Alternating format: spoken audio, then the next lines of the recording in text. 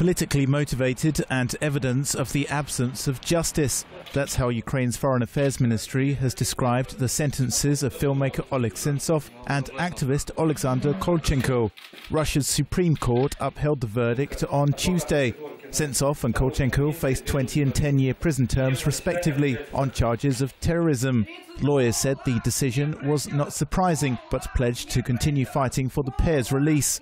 Sentsov, Kolchenko, and two other men were arrested in May 2014 after protesting the Kremlin's illegal annexation of Ukraine's Crimea region.